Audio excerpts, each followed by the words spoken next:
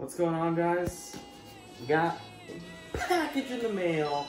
It's um, another AliExpress special here, and we will be installing these to make that projector light display that Infiniti logo on the ground. So these were like 13, 15 bucks. I'm super excited. So if you are as super excited as I am for these lights, be sure to smash that like and subscribe button. I'm only a little bit bipolar, I promise. Let's begin unboxing this package from AliExpress. It's all in Chinese. I don't understand what the hell it says. But if we go ahead and rip this open, come right out. So this is what it looks like. Brand is 3D Shadow Light. Open the box here.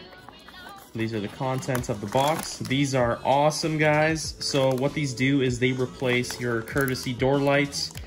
If your stock projectors aren't working or if you want to add projector lights, these are sick, guys. So what they do is they will display the logo of the car on the ground. So let's go outside and install these suckers and let's put a smile on my face and on your face. So what you guys are going to do is you guys are going to take a flathead screwdriver very, very gently, very, very carefully wedge it under the light.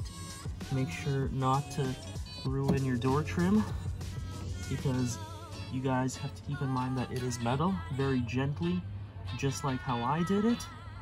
And then slowly tug on it like that. You can see the light is out. So at this point, what we're gonna do is unplug the light, push the tab, unplug it. This is your factory light. What we're going to do is we're going to take our new projector. Gotta make sure it's the right side, so just line it up side by side. Make sure the connector is in the right place.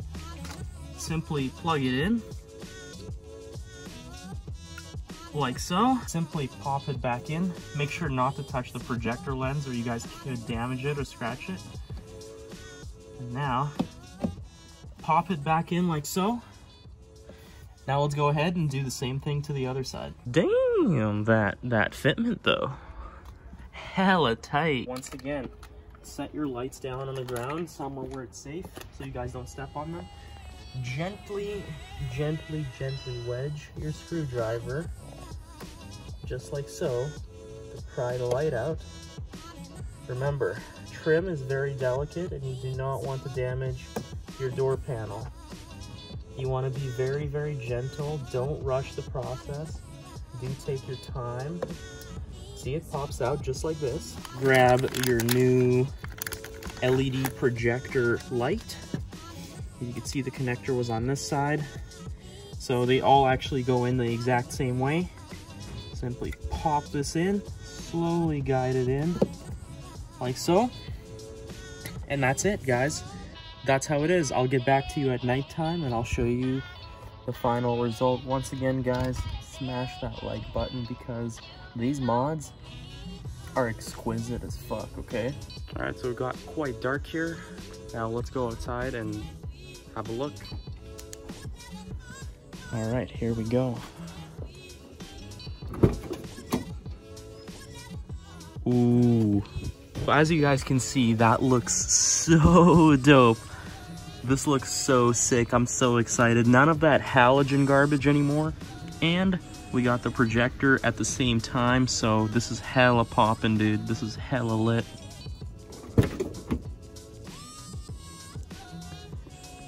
All right, there we go.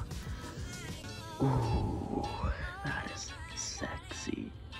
That is like, that is like a chef's kiss. And that is it for today's video. I hope you guys enjoyed it as always.